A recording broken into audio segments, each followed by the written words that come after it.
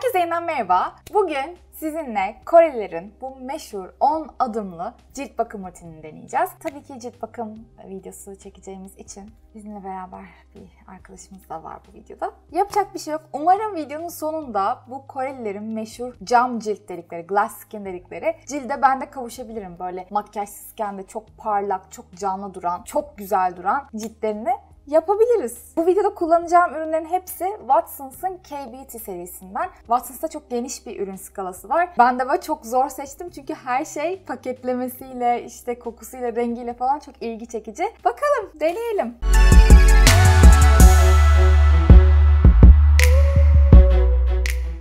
Önce bu Frudia'nın Blueberry'li yaban mersinli nemlendiren jelden köpüğe dönüşen temizleyicisini kullanıyorum. Cildime şu an makyaj olmadığı için ekstra bir şeyle çıkartmıyorum. Gece rutinlerinde yer ciltlerine makyaj varsa yağlı da çıkartabiliyorlar ilk adımda. Ama ilk adımımız her zaman temizleme. Aşırı güzel kokuyor ama. Sabah kalktım bu videoyu çekeceğim için sadece suyla yıkadım yüzümü hiçbir şey sürmedim ya da işte temizlemedim. O yüzden çok böyle donuk mattı cildim. Ve bence pisti. Bakalım bu videonun sonunda parlayacak mı? Nasıl olacak? Çok merak ediyorum. Keşke burada bir leğen olsa ya da çeşme. Çok iyi olurdu ama olmadığı için yüzümü yıkayıp geliyorum. İkinci adımımız gözenekleri arındırma. Bunun için cildimizi ölü derilerden arındıracak bir skraba ya da içinde hafif tanecikler bulunan bir şey ya da asitli bir şeye ihtiyacımız var. Ben bugün Skinik Feel So Good Peeling Pad'i kullanacağım. Bayağı merak ediyorum bunu ya. Tipi çok güzel görünüyor ama böyle parmağımızı herhalde içine geçireceğiz. Cildimizi oluşturacağız. Kuru yüzümüze uyguluyormuşuz. Ölü derileri, kirlileri temizlemek için dairesel hareketlerle masaj yapıyoruz. Sonra da yıkıyoruz. Çok ilginç bir şey. Dairesel hareketlerle bunu sürüyorum cildime. İçinde böyle sert çizen bir tanecik yok. O çok hoşuma gitti. Özellikle burun kenarlarıma. Koreli kadınların böyle hep cilde pürüzsüz görünüyor ve cilt bakımına çok önem veriyorlar. Yani zaten 10 adımlı bir rutin yapmalarından beri yani sabah akşam 10 adım çok iddialı gerçekten. Bunu deneyen bir sürü de Koreli olmayan insan var YouTube'da da. Benim de çok ilgimi çekiyordu uzun zamandır. Hem kaç dakika diyor? Ha bir dakika bir dakika az kalsın yanlış yapacaktım. Sonra sarı tarafını çeviriyormuşuz. Çevirdim. Bunu da burun ve çeneye uyguluyormuşuz. Daha çok siyah noktaların olduğu yere. Burası herhalde biraz daha mı fazla peeling Şimdi yıkıyorum. Bir şey diyeceğim. Bu gıcırtıyı mikrofona yapmam lazım. Geliyor mu? Gelmiyor mu? Çünkü cildim tam anlamıyla gıcır gıcır tertemiz. Böyle bir şey olamaz. Gelmiyor mu bu ses ya? Geçirteceğim bu sesi. Ya çok güzel. Gerçekten. Şey gibi hissediyorum, deri asmış gibi hissediyorum. Gerçekten yani sürerken böyle herhangi bir tıkırtı falan hissetmiyorsunuz. O yüzden favori ürünüm ben. Üçüncü adımımız tonikle arındırma. Ben bu çok güzel göründüğü için denedim. Birkaç gündür kullanıyorum. Bayağı güzel bir ürün. Skinik markasının Sparkling Pore isimli bu toniği. Resmen şey bu. Eski Sprite'lardan ya da soda. Çok güzel görünen bir şey. Şimdi bununla pamukla cildimi sileceğim.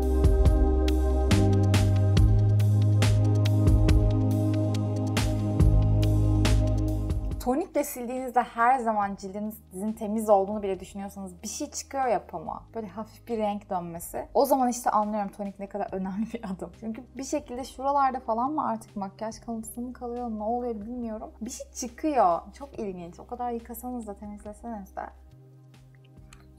böyle ferah dilim ferahladı. Çok güzel. Dördüncü adımımız maske. Kullanacağım. Çok şeker değil mi? Aşırı güzel. S&P'nin Ice Bear ki bu? Kika olabilir. Kika olabilir. Kika olmadığına eminim. Bu şeymiş. Hassas ciltleri rahatlatıcı, yumuşatıcı bir maske. Ben bunun mavisinden birkaç tane kullanmıştım daha önce. O daha nemlendiren diye hatırlıyorum. Çok güzel kağıt maskeler. Bir de ben bunların özellikle kağıtlarını seviyorum. Çünkü kağıt gibi değil. Bak ne dediğimi hiçbir şey anlamadınız ama. Daha kumaş gibiler. Anlatabildim bence şu anda. Bu benim için önemlidir. Ve üstünde çok yeterli ürün var. Hemen kurumuyor o yüzden. Onu da seviyorum. Şimdi benim için kağıt maskelerde önem verdiğim birkaç husus var. Onlardan biri, beni ne kadar ciddi alabilirsiniz ki şöyle konuşurken. Yeterince ıslak olması, yani çok ürün olması. Mutlaka boynuma da getiriyorum ben elimde kalanı. Diğeri de böyle biraz daha kumaş gibi bir yapıda olması. O zaman çünkü kaymıyor ciltten. Böyle yatıp beklemeniz gerekmiyor. O benim için önemli. Bu kağıt maskeler zaten hayatımıza Kore'den girdi. En çok yaptıkları maskeler. Hem böyle bence keyifliler hem çok fazla böyle elinizi kirletmiyorsunuz. Hani bir şeyin içine elinizi batırmıyorsunuz falan. O güzel. Böyle oturduğunuz yerde, uçakta da ben mesela uzun uçuşta da yapıyorum bunları. Evet, uzun uçuşta gerçekten. Herkes deli diye bakıyor. Böyle yürüyorum bir de uçağın işte tuvalet falan gidiyorum. 10-20 dakika arası bekleyebilirsiniz diyor. Ben akşam böyle evde yaptığımda bekletiyorum bir saat. Şimdi bir 15 dakika bekletip döneceğim. Çıkartıyorum.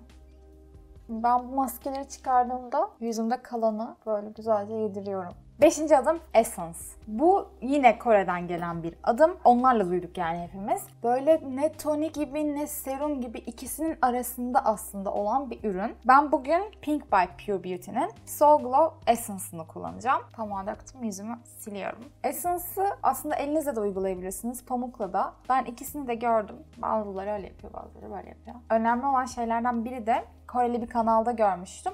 Bu Essence'ın tamamen cilde emilmesi gerekiyormuş başka bir ürün üstüne sürmeden önce. O yüzden böyle çok kısa bekleyeceğiz. Geldik 6. adım seruma. Pure Beauty'nin Hydrating Urban Shield'ını kullanacağım bunun için. Böyle jel gibi bir serum. Çok güzel kokuyor. Burada önemli adımlardan bir tanesi hep böyle yukarı doğru hafif masaj yaparak uygulamak. Hatta böyle masaj aletleri falan da kullanıyorlar ciltlerinde. Elmacık kemiklerini yukarı kaldırmak için çene kemiğini de belirginleştirmek için. Şöyle şöyle. Bu benim de yaptığım bir şey bu arada. Her akşam yapmasam da yapmaya çalışıyorum. Kan dolaşımını hızlandırıyor hem de ürünler cilt altına daha iyi nüfuz ediyor. Buna çok güzel baz da olur bence. Çünkü hafif böyle yapış yapış oldu tam emilirken. O yüzden güzel tutar ürünleri. Yedinci adımımızda gözenek sıkılaştırma. Bunun için çok tatlı görünüyor. Frudia'nın Green Grape yeşil üzümlü Pore Control kremini kullanacağım. Bir de şuradan göstereceğim. Kaşığım var mı? Yapısı çok ilginç. Böyle mat bir jel gibi, aloe vera jeli gibi ama mat. Çok değişik bir şey bu. Bunu yüzümün orta kısmına sürüyorum. Çünkü buralarında gözenek var benim cildimin. Böyle kaygan ama nemlendiriyor da aynı zamanda. Cildim canlandı kendine geldi ya. biraz daha parlıyor cilt. Evet. Çok mutluyum şu an. 8. adımımız göz çevresi kremi. Bunun ucu çok güzelmiş. Çok severim böyle bilyeli uçları. Collagen by Watsons markası bunun. Hydro Balance Eye Treatment kremi. Arkasında Made in Korea yazıyor bu arada. Biraz sıkıyorum. Ürün nereden geliyor? O bilyelerin arasından geliyor. Bu metal bilyeler birazcık serinlik etkisi de veriyor. O yüzden sabahları özellikle çok güzel olur. Çok güzel bir masaj. Uykum geldi. Çok böyle hafif jel gibi bir göz çevresinin nemlendiricisi. O yüzden özellikle makyaj altına çok güzel olacaktır. Ve çok iyi nemlendireceğini de anlayabiliyorum. Çünkü resmen böyle su gibi. Onu anlatabiliyorumdur. Bu jel gibi. 9. Nemlendirme. Yine Frudia'dan. Bunlar benim en sevdiğim paketleme oldular galiba. Hepsi böyle pastel tonlarda. Bunun işte lilası, pembesi falan da vardı. Hepsi başka ihtiyaçlara yönelik. Ben Citrus Brightening kremini tercih ettim. Aydınlatıcı kremini tercih ettim. Çok çok merak ediyorum bu kremi. Ne meyvesi bu? Bilmiyorum. Böyle şeftali gibi ama citrus diyor. Mango da gibi. Limon da var gibi. Bilmiyorum. Meyve çok güzel kokuyor. Çok güzel. Çok güzel yapıyor. Son adımımız güneş koruyucu. Tabii ki eğer gündüz yapıyorsak bu cilt bakım rutinini güneş koruyucu kullanıyoruz. Eğer gece yapıyorsak da böyle uyku maskesi ya da daha böyle yoğun bir gece bakım kremi gibi şeyler kullanıyorlarmış. Ben Pure Beauty'nin Urban Shield Illuminating güneş koruyucusunu kullanacağım. Çünkü biraz daha illuminating'e, aydınlatmaya, parlatmaya hayır demem. Bu da Made in Korea diyor. Şöyle biraz aldım. Bu arada bu ürünleri seçerken birazcık internetten araştırarak da seçtim. Tamam paketlerine de kandıklarım oldu. Ama özellikle mesela bu ürün hakkında çok güzel yorumlar gördüm hep. Yani aklıma geldi söylemek istedim. Şey diyeceğim bu benim favori güneş koruyucum oldu şu anda. Parlıyorum değil mi? Çok beğendim. Bir dakika cam cilt oldu mu? Cam gibi. Bence parlıyor ya işte cam gibi aynı. Bence cam cilt oldu. Şu sivilcemi kapatırsam, göz altıma azıcık kapatıcı sürersem cam cilt. Çok beğendim ben. Elimde kalan artık ne varsa çok şey var elimde. Ama dudağımı sürüyorum. Çok hoşuma gitti.